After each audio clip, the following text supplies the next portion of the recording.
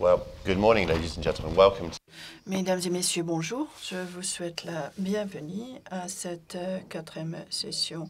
Euh, de, C'est la première d'aujourd'hui. Et nous commençons aujourd'hui avec un sujet extrêmement important. Il s'agit de la révolution de Jasmin, cinq ans après son événement. Nous venons euh, de célébrer son cinquième anniversaire il y a une semaine. Ça a été un, un we have an incredible amount of important content to get through in quite a short amount of time.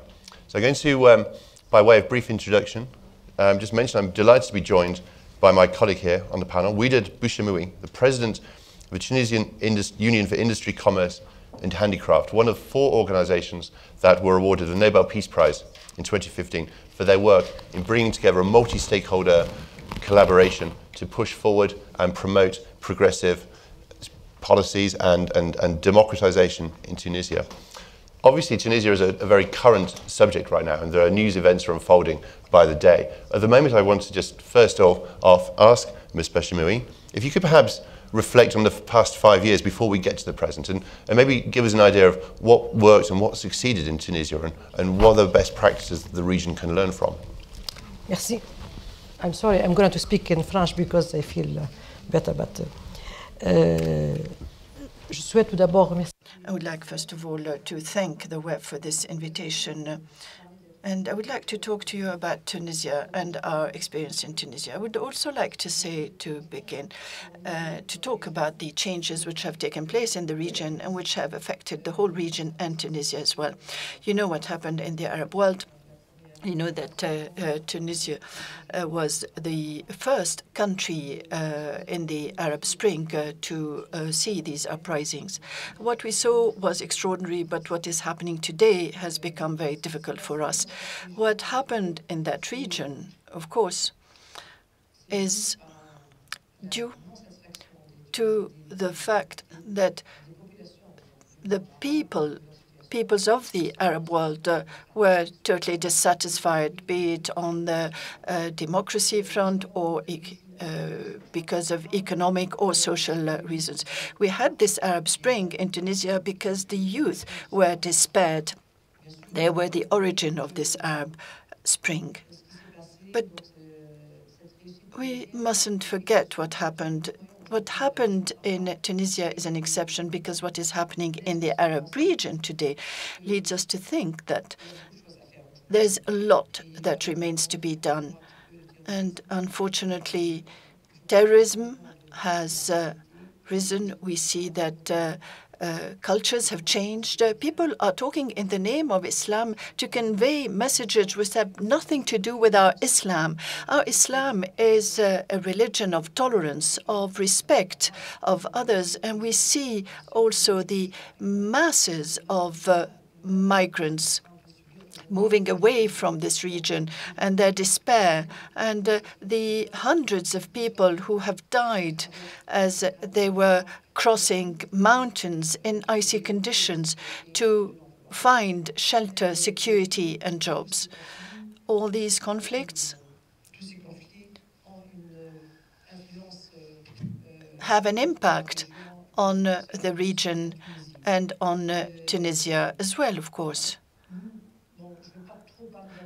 I don't want to dwell too much on the region, in particular with Mr. Amr Moussa, who is uh, in the hall. He knows uh, the region better than me.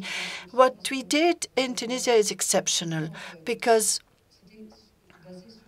this was based on consensus and dialogue. This is what we have managed to achieve. It was exceptional. We've succeeded because the Tunisians are educated. We must say this. We have uh, uh, youth who are open.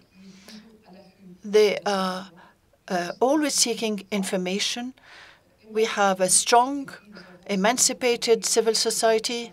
And let us not forget uh, uh, Tunisian women who are emancipated, which uh, meant that Tunisia was able to find a consensus and to find a solution.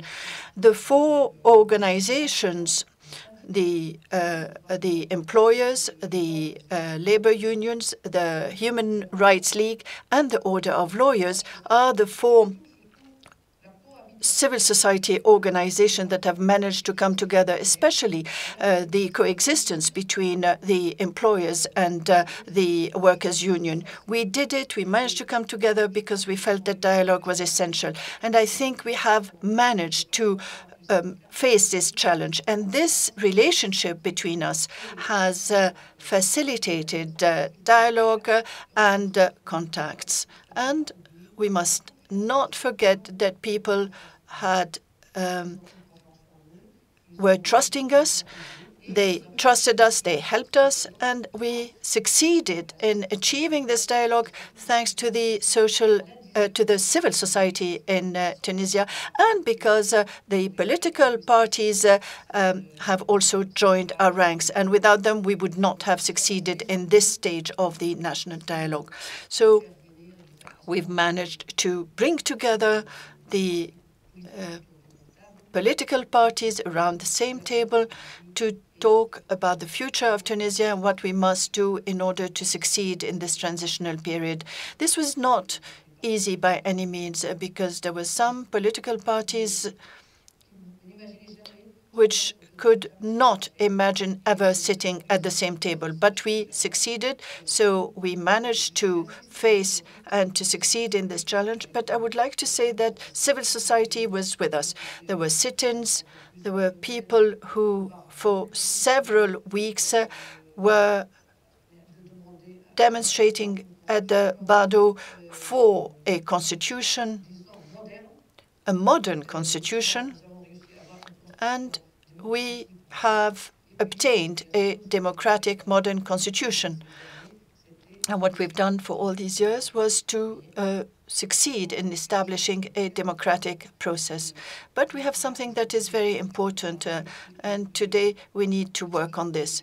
It is the economy because people were demonstrating in the streets uh, between December 2010 until January 2011. They were asking for dignity and jobs, and of course, democracy. Democracy we've got with this uh, freedom of the press, uh, freedom of the media, and dignity. We can only have it if we create jobs, and we have to uh, then create job opportunities. This is a very important uh, challenge. So we've managed with the democratic uh, uh, process, but we have to ensure that this democratic transition is going to succeed. And I think uh, 2016 will be the year of economic renewal with the reforms and the changes that are needed in order to satisfy the demands of the youth. But we have to listen to them. And I would add that this uh, uh, economic uh, revival will not succeed if there's no dialogue or consensus, because we cannot impose reforms on people.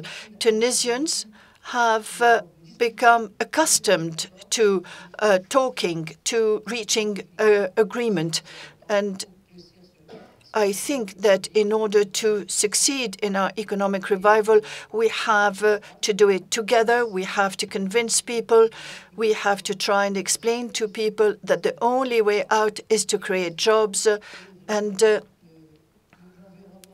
to have the uh, favorable climate for uh, jobs. Uh, we have to have security, stability, and uh, a, a, calm social uh, environment. We have to improve productivity and uh, job conditions and working conditions.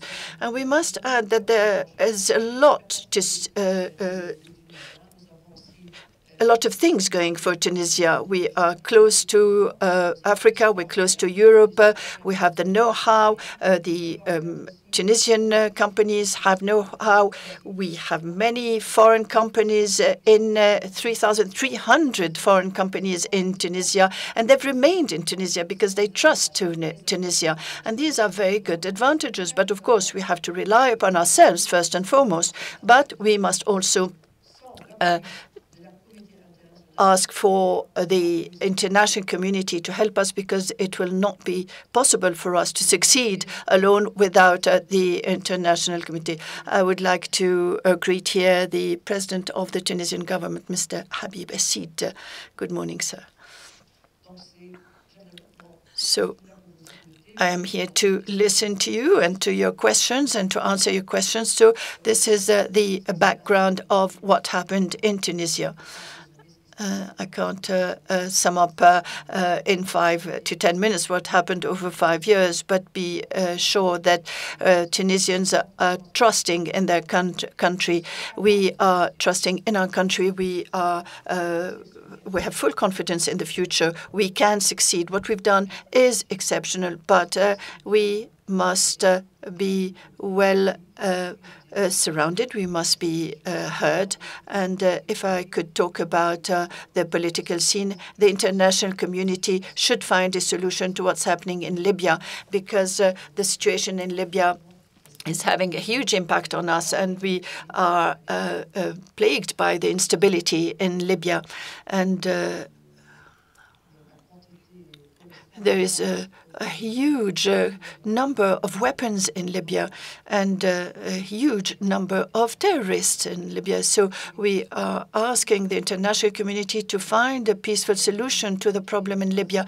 It is uh, a neighboring country. We have uh, relations with Libya, and even uh, on the economic uh, or on the human level, I think uh, we have found ourselves uh, uh, alone to manage the situation in Libya. And without a peaceful solution, we shall suffer even more. Welcome, Mr. Prime Minister. I should say Mohamed Fadhel Mahfoudh, the president of the Tunisian Order of Lawyers, um, was uh, due to join us on this panel and, and uh, regrettably hasn't been able to make it yet, but we do hope um, although he's running late, he will be able to join us for the second half of this session. Now, traditionally, we have uh, a pause for questions from the floor. This session is about the lessons learned and, and the, um, and the success in building a multi-stakeholder uh, coalition um, and, and, and, forging cooperation from, from, from, from parties to create a successful transition. Do we have any questions? We have the gentleman there. Anybody else? We'll do, it, we'll do one or two. Okay, so would you, could you main, would you mind giving us your name and where you're from? Yes, my name is Nicolas Barré. I'm the um, uh, editor-in-chief of Les Echos, the French newspaper. Mais je vais poser ma question en français si vous le permettez. Shall put my question in French if you will allow me.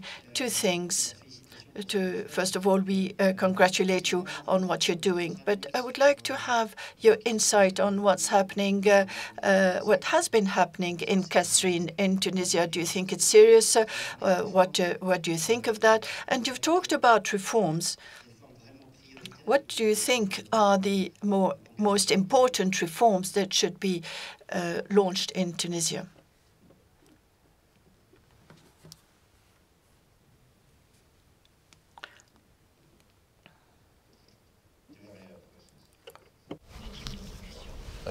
Okay, that's Kasserine, okay. and that's the most important reforms.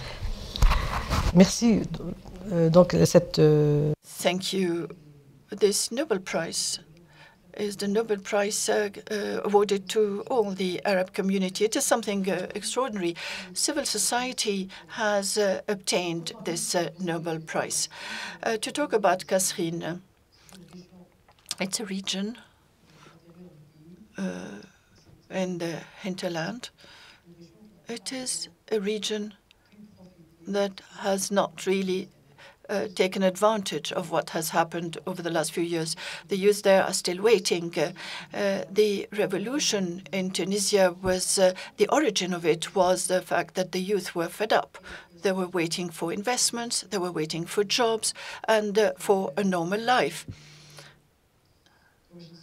as I was saying earlier, 2015 uh, saw the success of uh, economic transition. 2016 should see the uh, uh tran economic transition.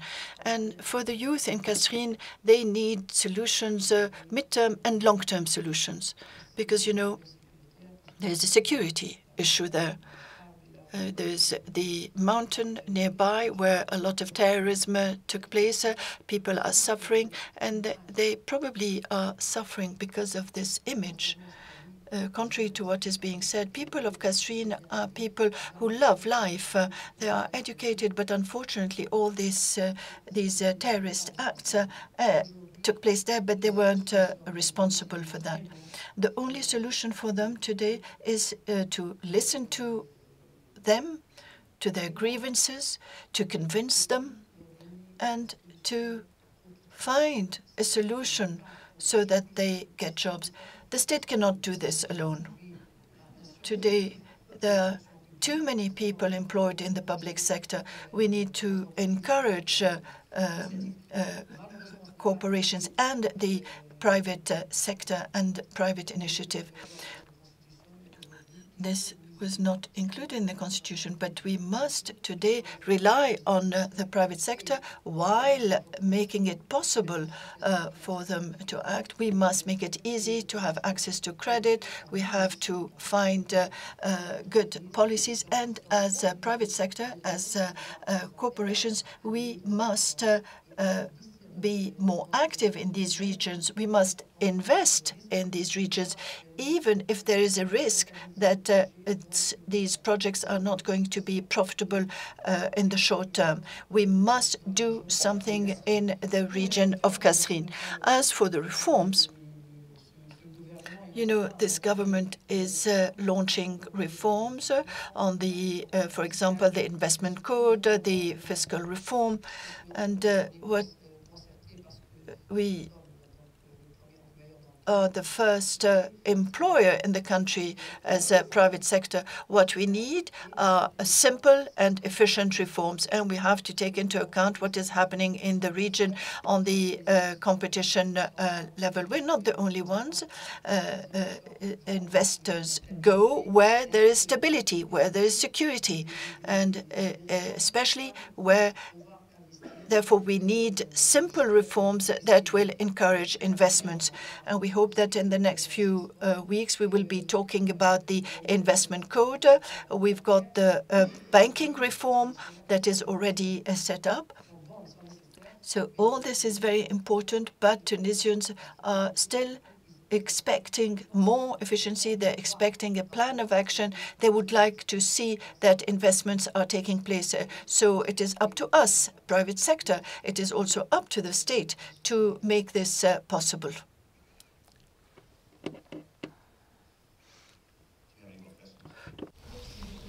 Okay, I'd like to just lead off with um, one that we've collected from social media, and that is how active the National Dialogue Quartet is today. You're obviously very effective in, in, in helping secure the democratic transition, but what, are, are, you still an active force? What do you, and if so, what are your priorities?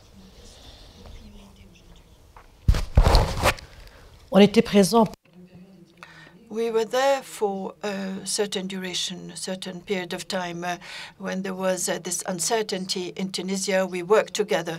Today, we have institutions that have been elected, institutions that were elected democratically. We respect these institutions, uh, so it's up to these institutions to do their work. We are still around. We have uh, a duty economically and socially to work together and to work each in our field of action.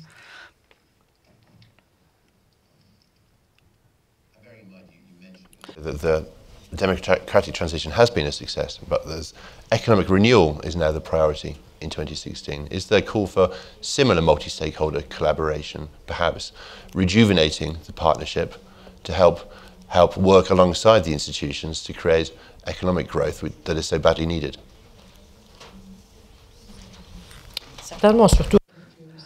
Course, uh, with the uh, labor union, uh, our fate is to work together. Without uh, social stability, we will never be able to invest. Uh, so, of course, today we have signed together the uh, on the 14th of January 2013 in the Assembly the Social Pact. Uh, it has to be set up. It has to become uh, enforce. Uh, the reforms cannot succeed if the labor unions uh, don't approve this. So we have to be together to succeed in this economic transition. What is the greatest challenge um, for Tunisia? Is it instability from outside the region today, or is it the economy and finding jobs for the youth inside the country?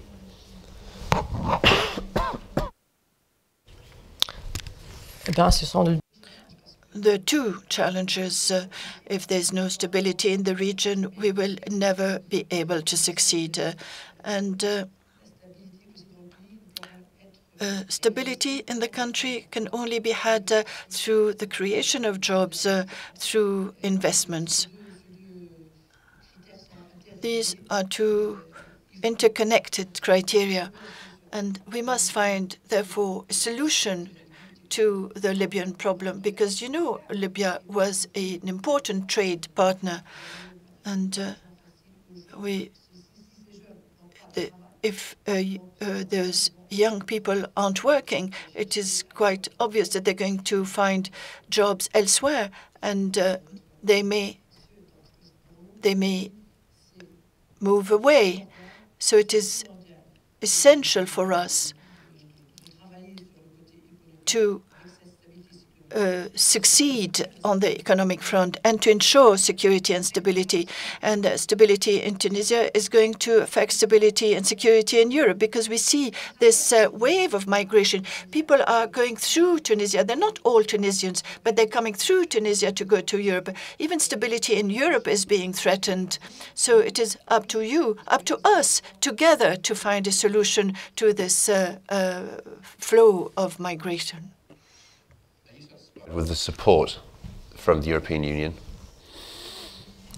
in helping you manage this transition? Honestly, not quite. Yes, on the uh, media front, uh, there's a lot that is being said, but nothing is, uh, not enough is being done. We're still expecting a lot to be done. We haven't seen anything on the ground yet it is uh, still below our expectations, in particular uh, because of our very close links with Europe and with the European Union. We were expecting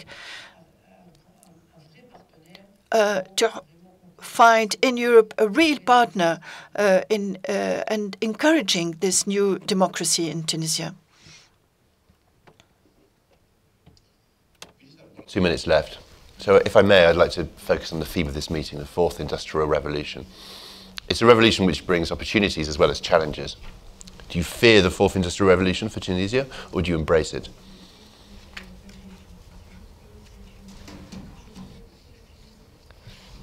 It's a good question. Question uh, complex. I would say that what happened in Tunisia is a change. I uh, don't want to talk about revolution because often uh, uh, it is said that revolution uh, means uh, the use of arms, of weapons. But this change could be